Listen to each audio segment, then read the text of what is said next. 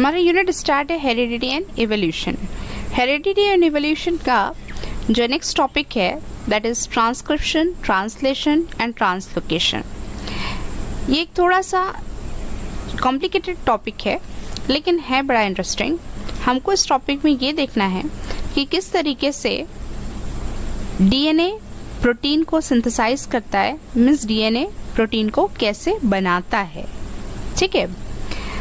With the help of RNA the genes present in the form of DNA participate in the functioning of cell and thereby control the structure and functioning of the body. अब आपको पता है jeans क्या होते हैं? Gene मतलब it is the segment of DNA DNA का एक पार्ट एक छोटा सा हिस्सा कहलाता है जीन तो वो जो जीन्स है, वो प्रेजेंट है in the form of DNA है ना? Participate in the functioning of cell क्या कर रहा है वो? सेल के फ़ंक्शन को परफॉर्म कर रहा है। जो हमारे बॉडी के जो सेल्स होते हैं, वो सेल के फ़ंक्शन को होल्ड करके रखा है, पूरा मतलब परफॉर्म कर रहा है। And thereby control the structure and functioning of the body जब सेल का प्रॉपर फ़ंक्शन होगा तो सेल से मिलकर ही तो टिश्यूज बने टिश्यूज से मिलकर ऑर्गन ऑर्गन से ऑर्गन सिस्टम तो मतलब हमारे पूरे होल बॉडी का जो स्ट्रक्चर है एंड फ़ंक्शन है, वो किस पर डिपेंड करता है? जीन पर। मतलब प्रॉपरली प्रोटीन सिंथेसाइज होंगे तो हमारी बॉडी प्रॉपर फ़ंक्शन करेगी। लेकिन किसकी हेल्प से हो रहा है ये? With the help of RNA DNA तो प्रोटीन को सिंथेसाइज कर ही रहे हैं, लेकिन किसकी हेल्प के कर रहे हैं वो? आरएनए की हेल्प से प्रोटीन सिंथेसाइज करेंगे। उसी की हेल्प से हमारी बॉडी जो है प्रॉपर फ़ंक्शन करेगी। Information about protein synthesis is store in the DNA. DNA के पास में क्या है? इन्फॉर्मेशन है। किसकी इन्फॉर्मेशन है? प्रोटीन को सिंथेसाइज करना है प्रोटीन को बनाना है। तो वो कहाँ पे स्टोर है? DNA. And synthesis of appropriate protein as per requirement is necessary for body हमारी बॉडी को जैसी रिक्वायरमेंट होती है, वैसे वैसे डीएनए प्रोटीन को सिंथेसाइज करता है प्रोटीन को बनाता है और इन्फॉर्मेशन जो है, वो सभी स्टोर है किसके अंदर? डीएनए के अंदर। These proteins are synthesized by DNA through the RNA. This is called as central dogma. अब जैसे हमने बताया आपको कि प्रोटीन सिंथेसाइज किसके थ्रू हो रहा है? कौन कर रहा है? प्रोटीन सिंथेसाइज डीएनए कर रहा है। लेकिन डीएनए किसके थ्रू कर रहा है? आरएनए के थ्रू कर रहा है। This is called as central dogma अब देखिए यहाँ पे आपको अच्छे से समझ में आएगा इस डायग्राम में।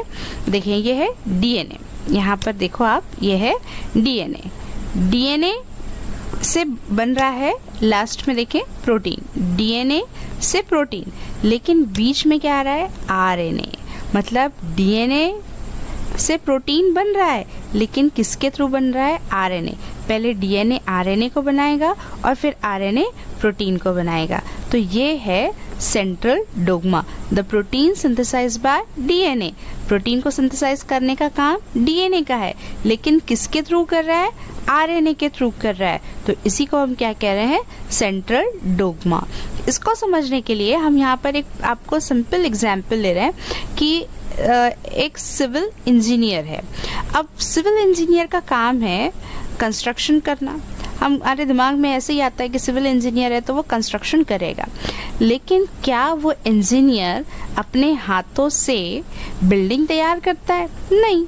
सिविल इंजीनियर का काम क्या होता है कि एक नक्शा तैयार कर देना और इंस्ट्रक्ट करना है कि आगे क्या करना है। लेकिन वो बिल्डिंग कौन बना रहे हैं? मजदूर बना रहे हैं। तो मतलब क्या हुआ कि जो इंजीनियर है, इंजीनियर ने इंस्ट्रक्ट किया और जो लेबर्स थे उन्होंने बनाए तब जाके बिल्डिंग बनी है। आ रही है बात समझ में? लेकिन जब बिल्डिंग बन गई तो हम क्या कहते हैं कि इंजीनियर ने बनाया है। तो सेम ऐसा ही है कि डीएनए क्या कर रहा है? प्रोटीन को बना रहा है। लेकिन प्रोटीन को डीएनए खुद बना रहा है क्या? नहीं। डीएनए को डीएनए से प्रोटीन के बीच में क्या है? आरएनए आरएनए के थ्रू ही आरएनए की हेल्प से ही डीएनए प्रोटीन को सिंथेसाइज कर रहा है, बना रहा है। तो this is called central dogma आई बस समझ में? नेक्स्ट अब उसके प्रोसेस देखना हमको कैसे डीएनए से प्रोटीन सिंथेसाइज हो रहा है। MRNA is produce as per the sequence of nucleotide on DNA अब यहाँ पर डीएनए क्या कर रहा है? आरएनए को बना रहा है। कौन सा आरएनए है अभी यहाँ पर?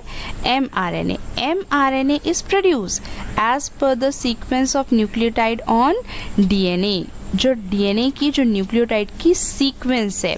अब आपको पता है कि ये जो आपको दिखाई दे रहा है, ये, इसे हम क्या कहते हैं? न्यूक्लियोटाइड की चेन है।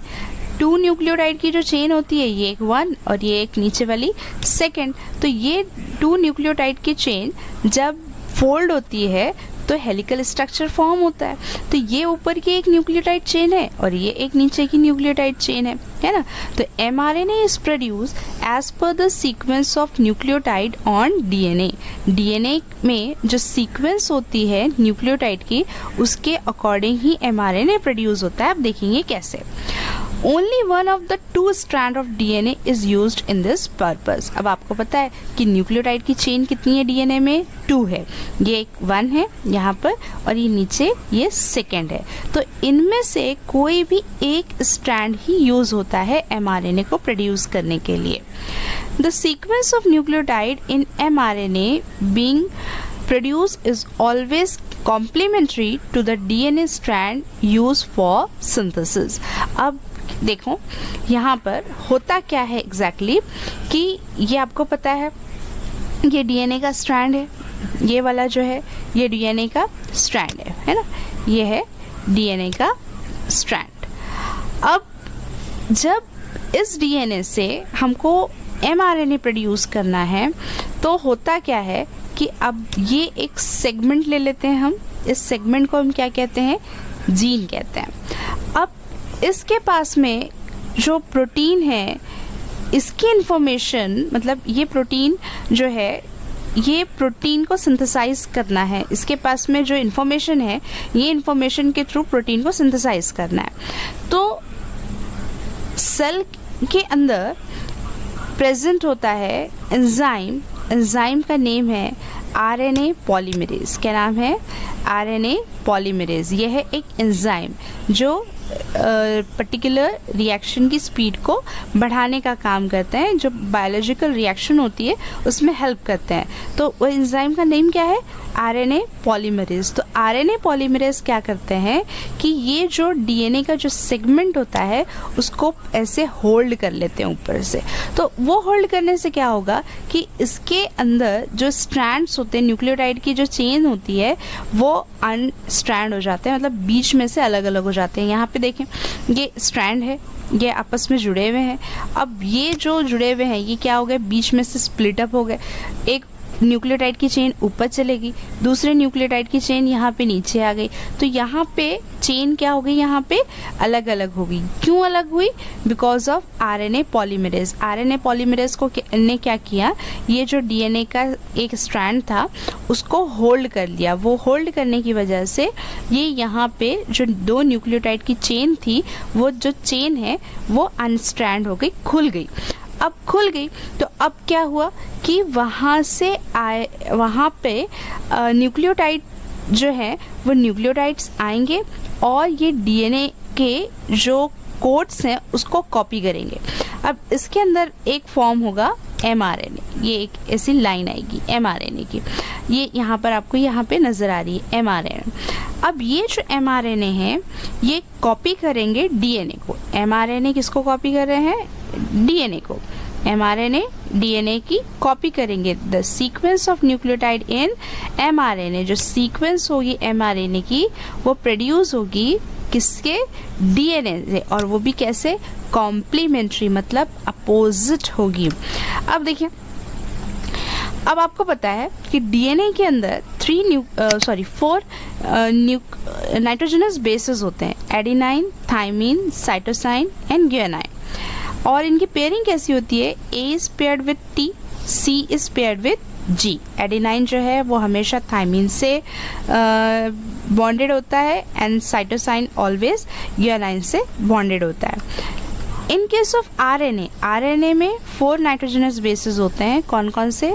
Adenine uracil cytosine and guanine instead of thymine यहाँ पर आपको सिर्फ़ ध्यान में रखना है, यहाँ थाइमीन है और आर एन ए में क्या है? यूरासिल है। तो instead of thymine R N A में यूरासिल है। तो adenine is bonded with uracil and cytosine is paired with guanine तो beside there is uracil in RNA instead of thymine of DNA तो DNA में क्या है? DNA में thymine है और RNA में यूरासिल है। वो होता क्या है यहाँ पर कि जो DNA से mRNA बन रहा है DNA से mRNA बन रहा है तो DNA के जो ये न्यूक्लियोटाइड्स हैं, उनको कॉपी कर रहा है। और वो कैसे कॉपी कर रहा है? कॉम्प्लीमेंट्री मतलब अपोजिट कॉपी कर रहा है। अब यहाँ पर इसको गौर से देखेंगे आप। देखिए, ये है डीएनए के पास में टी टी है मतलब ये यहाँ पे देखिए। टी है मतलब थाइमिन तो थाइमिन के अपोजिट में आ रहा है, देखो एडिनाइन तो A is paired with T T is paired with A ये यहाँ पे देखो A is paired with T है ना? फिर देखो यहाँ पर क्या है? ए है एडिनाइन है. अब एडिनाइन के इंस्टीड आना चाहिए थाइमिन लेकिन हम क्या कह रहे हैं कि डीएनए से M M R N A बन रहा है डीएनए से आर एन ए बन रहा है. तो आर एन ए में ए के इंस्टीड क्या होगा? यू तो फिर ए के इंस्टीड में क्या आ रहा है यहाँ पर? ए के अपोजिट में क्या आ रहा है? यू आ रहा है। ए की पेयरिंग में क्या आ रहा है? यू आ रहा है। फिर उसके बाद में देखें, यहाँ पे क्या है? तीसरा यहाँ पे जी ग्वेनाइन ग्वेनाइन ग्वेनाइन के अपोजिट क्या आता है? साइटोसाइन तो यहाँ पर अपोजिट में आ रहा है मतलब इसके पेयरिंग में जा रहा है साइटोसाइन फिर नीचे देखें, फिर से है जी ग्वेनाइन ग्वेनाइन के पेयरिंग में क्या आ रहा है? सी साइटोसाइन फिर क्या है? टी है थाइमिन थाइमिन के अपोजिट में क्या आ रहा है? T is paired with A तो समझ में आ रही है बात? मतलब डीएनए के पास में जो न्यूक्लियोटाइड्स थे, वो न्यूक्लियोटाइड्स को क्या हुआ है? कॉपी किया है। कॉपी होकर क्या फॉर्म हो रहा है? आरएनए डीएनए से बन रहा है आरएनए कौन सा आरएनए एम आरएनए कौन सा आरएनए एम आरएनए कैसे बना? उसको कॉम्प्लीमेंट्री उसके जो कॉपी करके मतलब उसके अपोजिट में न्यूक्लियोटाइड के स्ट्रैंड्स को बनाकर। फिर से देखें the sequence of nucleotide in M R N A being produce is always complementary to the D N A तो एम आर एन ए जो बनता है, वो हमेशा डी एन ए के कॉम्प्लीमेंट्री अपोजिट सीक्वेंस को कॉपी करता है। स्ट्रैंड यूज़ फॉर सिंथेसिस किसके लिए? सिंथेसाइज करने के लिए प्रोटीन को. Beside there is uracil in R N A instead of thymine of D N A अभी हमने बताया आपको कि डी एन ए में थाइमीन होता है आर एन ए में यूरासिल होता है. तो जहाँ जहाँ टी रहेगा, वहाँ पे आपको आर एन ए में यू से उसको एक्सचेंज करना होगा. This process of RNA synthesis is called as transcription. The process of, कौन सी प्रोसेस है? RNA को सिंथेसाइज करने की। RNA किससे बन रहा है? DNA से। DNA से RNA बनने की प्रोसेस को कहते हैं हम ट्रांसक्रिप्शन सिंपल वर्ड्स में याद रखिए। सिंपल एक टर्म में याद रखिए कि डीएनए से एमआरएनए, डीएनए से एमआरएनए बनने की प्रोसेस को हम कहते हैं ट्रांसक्रिप्शन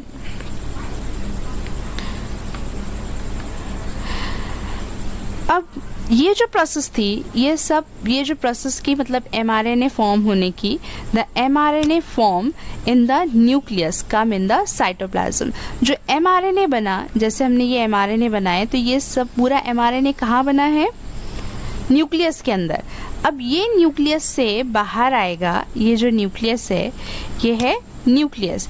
ये न्यूक्लियस से ये बाहर आएगा, जिसे हम कह रहे हैं cytoplasm mRNA form in the nucleus nucleus में एमआरएनए बना डीएनए ने एमआरएनए को बनाया, और एमआरएनए कहाँ आ रहा है? साइटोप्लाज्म में आ रहा है। It brings in the coded message from DNA DNA से उसने मैसेज को लेकर आया क्योंकि डीएनए के जो न्यूक्लियोटाइड्स थे, उसको कॉम्प्लीमेंट्री उसने कॉपी किया क्योंकि डीएनए में जो न्यूक्लियोटाइड्स थे, वो क्या थे? कोड्स थे।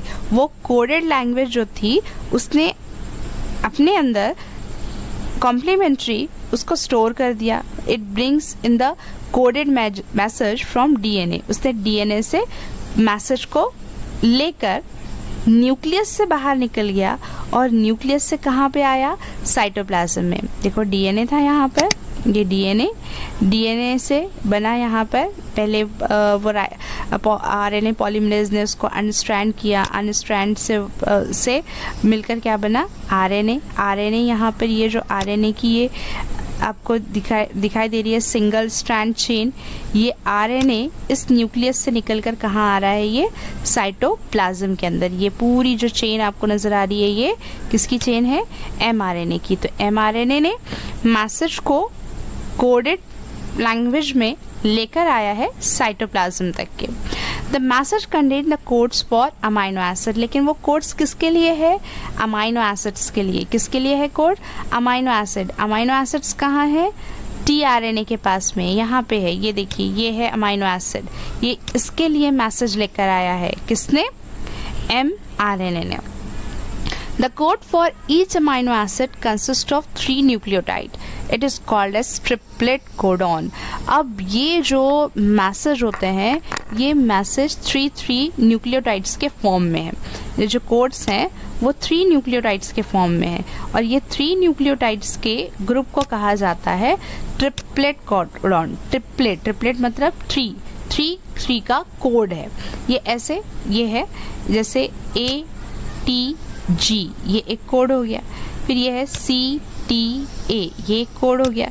फिर ये जी जी सी ये हो गया एक कोड तो ये जो थ्री थ्री के ग्रुप होते हैं अमाइनो एसिड के लिए ये कोड आ रहे हैं। ये कोड है, ये एक वन अमाइनो एसिड है। ये है वन अमाइनो एसिड तो ये पर्टिकुलर ये जो कोड्स आते हैं, ये कोड्स किसके लिए आते हैं? अमाइनो एसिड्स के लिए आते हैं। In the form of triplet codon किसके फॉर्म में ये थ्री थ्री का ग्रुप है। कौन मैसेज लेकर आया है? M R N M R N A message लाया है न्यूक्लियस से कहाँ पर? साइटोप्लाज्म में। और साइटोप्लाज्म में किसके लिए मैसेज लेकर आया है? अमाइनो एसिड के लिए। किसके फॉर्म में? ट्रिपलेट कोडॉन थ्री थ्री के ग्रुप में लेकर मैसेज आया है। अब ये जो अमाइनो एसिड्स हैं अमाइनो एसिड को डिस्कवर जिन्होंने किया था मतलब कोर्स को जिससे डिस्कवर किया था, वो थे doctor Hargovind Khurana a scientist of Indian origin has made an important contribution in discovery of triplet codon जो वो कोड्स होते हैं मतलब जो अमाइनो एसिड्स हैं हमारी बॉडी में जो पर्टिकुलर जो सेल के फ़ंक्शन के लिए, हमारी ग्रोथ के लिए रिस्पॉन्सिबल है तो वो अमाइनो एसिड्स को जिन्होंने कोड्स में कन्वर्ट किया था ट्रिपलेट कोडॉन्स होते हैं फॉर 20 अमाइनो एसिड जो एसेंशियल अमाइनो एसिड्स है, उनके कोड्स को डिस्कवर किए थे Indian scientist doctor Har Govind Khurana ने for this work he has been awarded with the Nobel prize in 1968 along with two other scientist और इस contribution के लिए उनको नोबल प्राइज भी मिला था अदर टू साइंटिस्ट के साथ में। अब जो एमआरएनए है एमआरएनए में थाउजेंड्स ऑफ़ ट्रिपलेट कॉडॉन है। अब हमने देखे हैं कि जो डीएनए से एमआरएनए बन रहा है और ये जो एम आर एमआरएनए है उसके पास में थाउजेंड्स ऑफ़ क्या है? ट्रिपलेट कोडॉन्स है। मतलब ये ए जी सी ये एक ग्रुप हो जाएगा फिर ये दू, दूसरा ग्रुप ये ऐसे तीन का फिर ऐसे ग्रुप हो जाएगा फिर ये तीन का ग्रुप ऐसे thousands of triplet codons present है एमआरएनए के पास. फॉर अमाइनो एसिड वो कोड्स किसके लिए हैं? अमाइनो एसिड के लिए है. For this purpose T R N as anticodon having complementary sequence to the codon on M R N A this is called translocation अब देखें. डीएनए ने एमआरएनए को बनाया। एमआरएनए ने कोड्स को लेकर साइटोप्लाज्म में आया। किसके लिए आया था? अमाइनो एसिड्स के लिए आया था। अमाइनो एसिड्स कहाँ हैं? टीआरएनए के पास में। Amino acids are supplied by the tRNA. Amino acid कौन सप्लाई कर रहा है? टीआरएनए। और टीआरएनए उस कोड को क्या कर रहा है? एंटी कोडॉन एंटी मतलब अपोजिट। जो कोड्स थे, उस कोड्स को खोलने का काम कर रहा है। Having complementary sequence to the codon on mRNA जो एमआरएनए ने कॉम्प्लीमेंट्री अपोजिट मतलब उसको कोडेड लैंग्वेज में उसको बंद किया था, अब उसको खोलने का काम कर रहा है tRNA this is called translation और इसी को क्या कह रहे हैं? हम? ट्रांसलेशन ट्रांसलेशन मतलब पता है आपको कि एक से दूसरे में वो खोलना मतलब उसको मतलब बताना कि कोड था, कोड खुल गया तो वो ट्रांसलेट हो गया। तो इसको कहा हमने ट्रांसलेशन कि डीएनए डीएनए से बना यहाँ पे आरएनए। आरएनए आया साइटोप्लाज्म में। साइटोप्लाज्म में आरएनए आने के बाद में आरएनए के, जो थ्री थ्री के ग्रुप्स हैं, ये थ्री थ्री के ग्रुप्स को क्या कहा? कोडॉन ये कोड्स किसके लिए आए हैं? अमाइनो एसिड के लिए। अमाइनो एसिड कौन सप्लाई कर रहा है? टीआरएनए ये जो स्ट्रक्चर है, ये किसका है?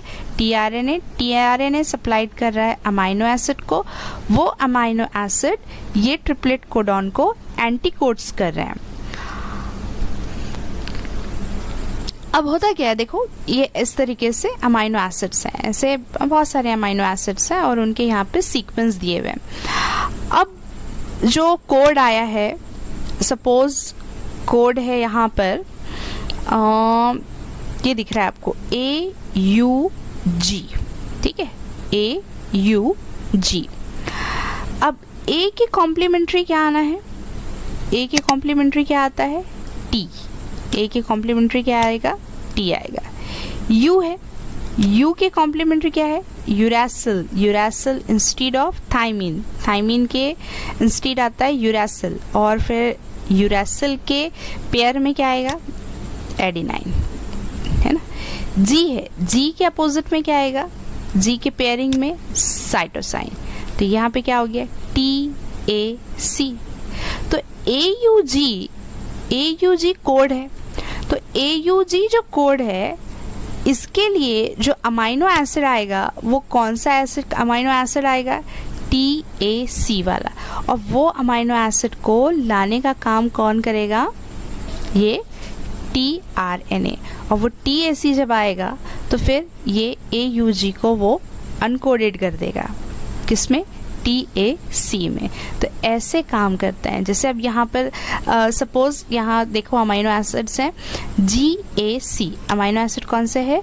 जी ए सी तो ये जी ए सी के लिए जो कोड आएगा तो जी के अपोजिट क्या आएगा? सी सी के अपोजिट क्या आएगा? जी फिर सी के अपोजिट क्या आएगा? जी है ना? तो एमआरएनए के पास में कौन सा कोड होना चाहिए? सी जी जी तो सी जी जी आएगा तो उसके according T R N A कौन से अमाइनो एसिड को लेकर आएगा? जी सी सी मतलब एलेनाइन को लेकर आएगा। तो एलेनाइन के साथ फिर ये कंबाइन हो जाएँगे और ये कन्वर्ट करेंगे फिर ये प्रोटीन्स में। अब समझ में आ रही है बात? तो मतलब अपोजिट है कि जो एमआरएनए ने कोड्स को लेकर आए थे, वो कोड्स यहाँ पर खुलने वाले हैं। तो वो कोड्स को कौन खोल रहा है? T R N A the amino acid brought in by T R N A are bonded are bonded together by peptide bond with the help of rRNA. अब क्या हुआ कि जो amino acids brought in by T R N A जो T R N A ने किसको लेकर आए? अमाइनो एसिड को। टी आर एन ए ने किसको लेकर आए? अमाइनो एसिड्स को। और वो अमाइनो एसिड्स एक ही तो नहीं है बहुत सारे अमाइनो एसिड्स आते चले जाएँगे। तो वो अमाइनो एसिड्स एक दूसरे में बॉन्डेड होंगे with the help of peptides bond ये देखें कि एक आएगा फिर एक ए, एक अमाइनो एसिड है फिर ये सेकेंड अमाइनो एसिड है मतलब ये टी आर एन ए है टी आर एन ए एक अमाइनो एसिड को लेकर आया, फिर दूसरा टी आर एन ए होगा सेकेंड अमाइनो एसिड को लेकर आएगा third T R N A होगा, वो एक अमाइनो एसिड को लेकर आएगा, फिर और एक अमाइनो एसिड्स को लेकर आ रहे हैं। इस तरीके से T R N A different amino acids को लेकर आएँगे और डिफरेंट अमाइनो एसिड एक दूसरे में बॉन्डेड होंगे with the help of peptide bond during this process अब ये प्रोसेस में क्या हो रहा है कि एक के बाद एक एक के बाद एक, ये जो अमाइनो एसिड्स आते जा रहे हैं, वो अमाइनो एसिड्स किसके लिए आ रहे हैं? मैसेज को रिसीव करने के लिए। वो मैसेज कहाँ से आया है? एम आर एन ए लेकर आया है। एम आर एन ए कहाँ से लाया है?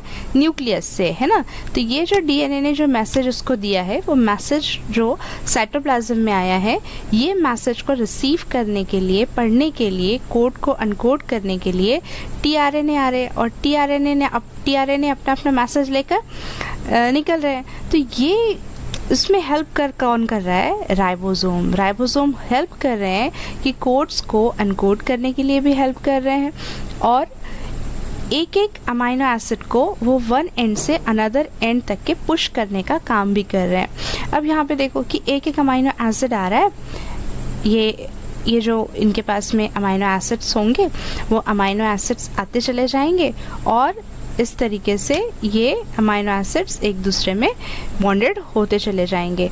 तो अब होगा क्या कि ये ये देखो, ये एक अमाइनो एसिड आया, यहाँ से ये जो trans T R N A आया टी आर एन ए ने अपने पास में क्या था? अमाइनो एसिड अमाइनो एसिड को लेकर आ रहा है। ये कोड को अनकोड किया और बाहर निकल गया फिर ये आगे सरक गया। फिर ये आया, फिर इस तरीके से अपने अमाइनो एसिड को से मैसेज को रिसीव किया और आगे बढ़ गया। तो ये क्या कर रहा है कि ये राइबोसोम क्या कर रहा है? हेल्प कर रहा है ट्रांसलोकेट करने के लिए एक जगह से दूसरी जगह तक के पहुँचाने के लिए। लेकिन डिस्टेंस कितना मेंटेन कर रहा है? कितना पुश कर रहा है वो? एक ट्रिपलेट कोडॉन एक ट्रिपलेट कोडॉन मतलब ये ये जो एक थ्री थ्री थ्री का ग्रुप है, वो थ्री थ्री के ग्रुप को ही वो पुश कर रहा है। मतलब ये एक कंप्लीट हो गया, वो आगे बढ़ेगा। फिर एक कंप्लीट होगा, वो आगे बढ़ेगा। फिर ये आएगा कंप्लीट होगा, आगे बढ़ेगा। तो एक एक ट्रिपलेट कोडॉन के डिस्टेंस से राइबोसोम क्या कर रहे हैं? मूव कर रहे हैं। During this process, the ribosome keeps on moving from one end of mRNA to other end by the distance of one triplet codon. RNA क्या कर रहे हैं? राइबोसोमल आरएनए क्या कर रहे हैं? मूव हो रहे हैं। और मूव कितना मूव कर रहे हैं वो? टीआरएनए को सिर्फ़ एक ट्रिपलेट कोडॉन तीन तीन के ग्रुप से वो आगे बढ़ाते जा रहे हैं। और उसी को क्या कहा जा रहा है? ट्रांसलोकेशन अब यहाँ पर हमने तीनों भी देखना है। लेकिन उससे पहले यहाँ देखो कि जो बहुत सारे अमाइनो एसिड्स हैं अमाइनो एसिड्स एक साथ में आ गए और अमाइनो एसिड एक साथ में आने के बाद में फॉर्म कर रहे हैं complex protein. Such many chains come together. इस तरीके से ये जो अमाइनो एसिड्स हैं, ये अमाइनो एसिड मैसेज को रिसीव करते करते क्या कर रहे हैं? कॉम्प्लेक्स प्रोटीन बना रहे हैं। अब प्रोटीन कैसे बन रहा है? अमाइनो एसिड से। बहुत सारे अमाइनो एसिड जो हैं अमाइनो एसिड्स एक साथ आते हैं तो प्रोटीन बनता है। एक्चुअली जो प्रोटीन्स है, प्रोटीन का जो स्ट्रक्चर है वो बहुत बड़ा होता है। लेकिन उसके जो छोटे छोटे पार्ट है, उसी को हम क्या कहते हैं? Amino acid. They are the poly polymer कहलाते हैं ये कि छोटे छोटे यूनिट्स मतलब अमाइनो एसिड जो है बहुत सारे अमाइनो एसिड एक साथ में जमा होते हैं और एक कॉम्प्लेक्स कॉम्प्लेक्स मतलब एक, आ, एक कॉम्प्लिकेटेड स्ट्रक्चर को फॉर्म करना है। जस्ट लाइक दिस ये कॉम्प्लिकेटेड स्ट्रक्चर है। तो इस तरीके से स्ट्रक्चर को तैयार करते हैं। और यही जो प्रोटीन्स है control various function in the body of living organism and their appearance too और यही प्रोटीन्स जो हैं, जो कॉम्प्लेक्स प्रोटीन्स कहलाते हैं, हमारे होल बॉडी के फ़ंक्शंस को, हमारे अपियरेंस के लिए ये रिस्पॉन्सिबल होते हैं। तो इस तरीके से बनता है डीएनए से दिस कॉम्प्लेक्स प्रोटीन अब हम तीनों भी टर्म्स को एक साथ में यहाँ पे देखते हैं। ट्रांसक्रिप्शन ट्रांसक्रिप्शन का आप सिंपल समझेंगे कि process of synthesis of M R N A M R N A की एम आर एन ए की प्रोसेस एमआरएनए को तैयार करना according to nucleotide sequence present on DNA किससे बनाना है आपको? डीएनए डीएनए से एमआरएनए बनने की प्रोसेस को हम कहते हैं ट्रांसक्रिप्शन डीएनए यह है डीएनए डीएनए से क्या बन रहा है? आर एन ए कौन सा R N A M R N A तो डी एन ए से आर एन ए बनने की इस प्रोसेस को कह रहे हैं हम transcription translation synthesis of protein from mRNA uh, from RNA is called translation. Second है translation. Translate करना है. क्या translate कर रहा है? कि प्रोटीन बन रहा है. प्रोटीन किससे बन रहा है? आरएनए आरएनए से बन रहा है प्रोटीन और इस प्रोसेस को हम क्या कह रहे हैं? ट्रांसलेशन और थर्ड है ट्रांसलोकेशन कि translocation the process of movement of the ribosome from one end to the another end एक जगह से दूसरी जगह तक के जो मूवमेंट है राइबोसोम का और कितना डिस्टेंस ट्रैवल कर रहा है? वन ट्रिपलेट कोडॉन तीन तीन के जो कोडॉन्स के ग्रुप है, उतना डिस्टेंस को मेंटेन करते हुए आगे आगे बढ़ना वो कहला रहा है ट्रांसलोकेशन अब ये जो टॉपिक है ट्रांसक्रिप्शन ट्रांसलेशन एंड ट्रांसलोकेशन ये हमने आपको तो बताया है, लेकिन इसको और अच्छे से समझने के लिए हम आपको एक एनिमेटेड वीडियो दिखाएँगे। देखिए। डीएनए टू प्रोटीन कैसे बनता है प्रोटीन ये एक हम एनिमेटेड वीडियो आपको बता रहे हैं। ये है सेल सेल के अंदर बहुत सारे डिफरेंट सेल ऑर्गेनल्स होते हैं। और इसमें से सबसे इंपॉर्टेंट होता है ये न्यूक्लियस न्यूक्लियस के अंदर है 23 pairs of chromosomes. Chromosomes are made up of DNA DNA से ही बना हुआ है क्रोमोसोम डीएनए का सेगमेंट कहलाता है जीन अब जीन के पास में है इंफॉर्मेशन अब ये इंफॉर्मेशन को कॉपी करना है. तो ये इंफॉर्मेशन को कॉपी करने के लिए क्या होता है? ये स्ट्रैंड के ऊपर में आते हैं आरएनए पॉलीमरेज और इसको अनस्ट्रैंड कर देते हैं लाइक दिस देखें अच्छे से। ये आ रहे हैं RNA polymerase this this is the enzyme और ये एंजाइम क्या कर रहे हैं? ये देखो, इस तरीके से डीएनए का जो कॉइल्ड स्ट्रक्चर था, उसको अनकॉइल्ड कर दे रहे हैं। न्यूक्लियोटाइड की चेन स्प्लिट अप हो गई।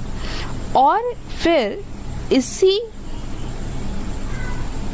स्प्लिट अप हुई हुए ये जो आपको दिखाई दे रहा है स्ट्रक्चर यहाँ पर न्यूक्लियोटाइड्स आएँगे और एमआरएनए को फॉर्म करेंगे। तो ये जो एमआरएनए है, ये डीएनए की, ये जो न्यूक्लियो डीएनए की ये जो कोड्स होंगे, ये कोड्स को कॉम्प्लीमेंट्री मतलब अपोजिट कॉपी करेंगे लाइक दिस देखिए अच्छे से, आपको समझ में आएगा। देखें किस तरीके से आ रहे हैं। टी है टी के पेयरिंग में आएगा ए ए है ए के पेयरिंग में आ रहा है यू सी के पेयरिंग में आ रहा है जी जी सी इस तरीके से पेयरिंग होते जा रहे हैं और बन रहा है क्या? M R N A only one strand को कॉपी कर रहे हैं, किसी भी एक को। और ये बना मैसेंजर आर एन ए अब इस प्रोसेस को क्या कहे हमने? डीएनए से आरएनए बनने की प्रोसेस को ट्रांसक्रिप्शन ये प्रोसेस है ट्रांसक्रिप्शन और किसके अंदर हो रही है ये पूरी प्रोसेस न्यूक्लियस के अंदर. अब ये न्यूक्लियस के अंदर जो एमआरएनए बना, ये जाएगा कहाँ पर? साइटोप्लाज्म में. न्यूक्लियस से निकलेगा अब ये बाहर. अब इसका तरीके से देखें. ये बहुत बड़ी चेन होती है. ये इतनी बड़ी जो चेन है, जिसमें थाउजेंड्स ऑफ़ न्यूक्लियोटाइड प्रेजेंट है, ये न्यूक्लियस से जा रहा है बाहर साइटोप्लाज्म में.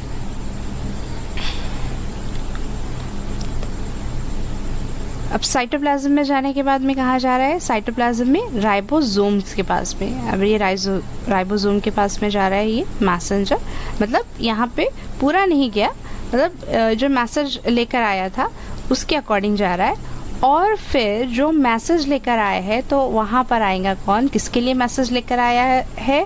डीएनए से एमआरएनए ने मैसेज किसके लिए लेकर आया है? पर्टिकुलर अमाइनो एसिड्स के लिए। तो जो कोड्स थे, वो कोड को एंटी कोड करने के लिए पर्टिकुलर आएँगे अमाइनो एसिड ये अमाइनो एसिड किसके पास में जा रहे हैं? एम आर एन ए के पास में, उसको अनकोड करने के लिए। देखें इस तरीके से। ये अमाइनो एसिड्स है। ये पर्टिकुलर अमाइनो एसिड जो अमाइनो एसिड को कैरी कौन करके रखा है। Transfer R N A T R N A वो जा रहे हैं किसके पास में? एम आर एन ए के पास। और वे कोड्स को क्या कर रहे हैं? अनकोड्स कर रहे हैं। देखो, ये जी यू सी ये मैसेज आया था।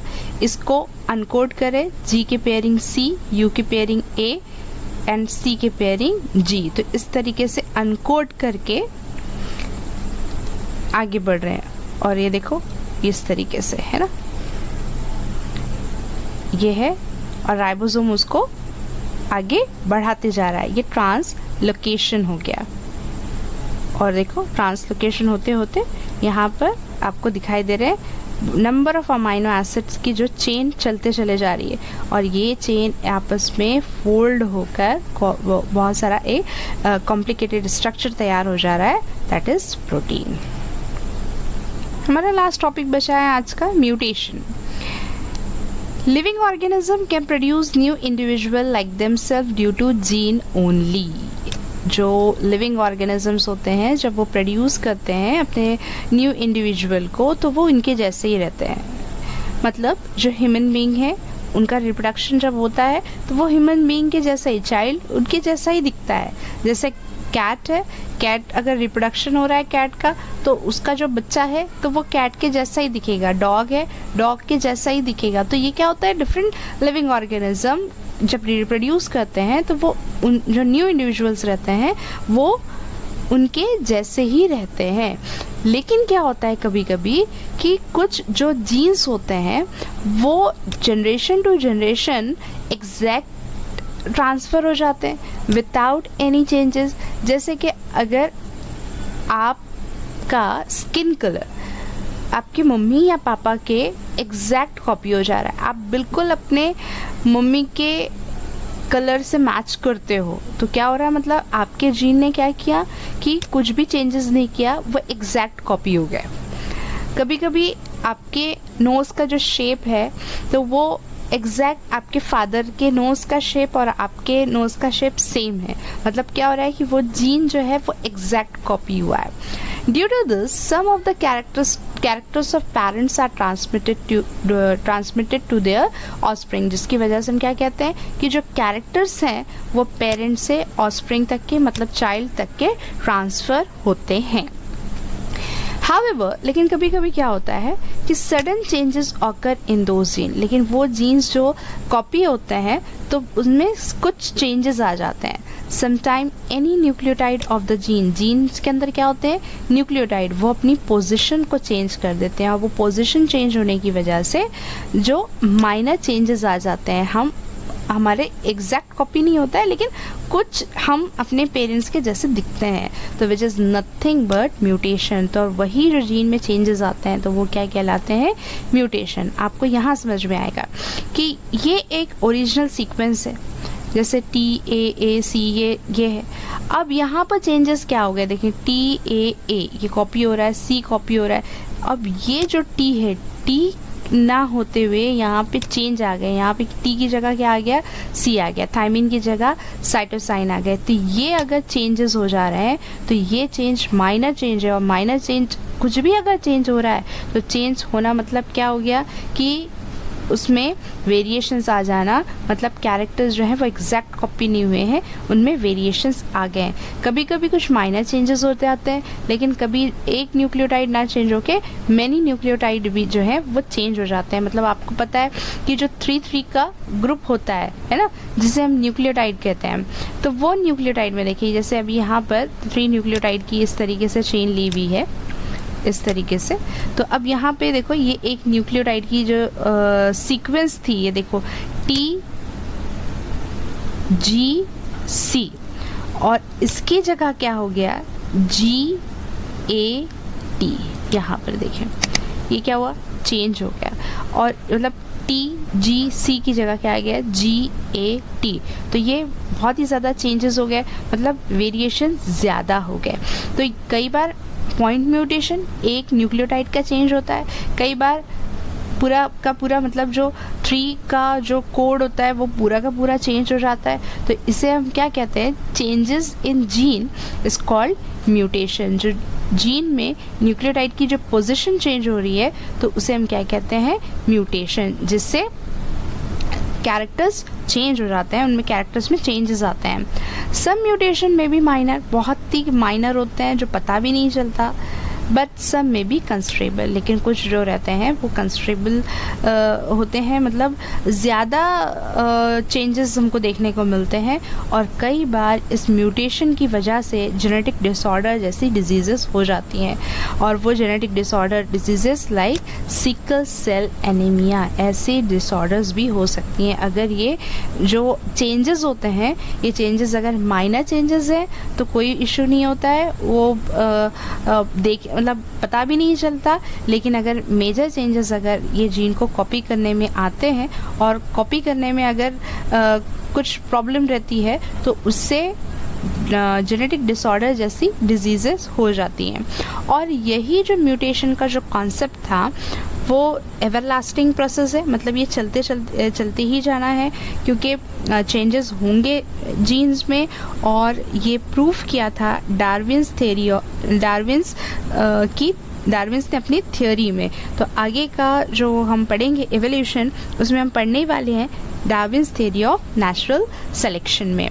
तो अभी हमारा टॉपिक यहाँ पे ख़त्म हो रहा है। हमने आज कवर किए ट्रांसक्रिप्शन ट्रांसलेशन ट्रांसलोकेशन और एक ये छोटा सा टॉपिक था म्यूटेशन अब म्यूटेशन आपको एक सिंपली याद रखना है sudden changes in genetic material जो जेनेटिक मटेरियल में अचानक से चेंजेस हो जाते हैं ड्यू टू दिस है ना?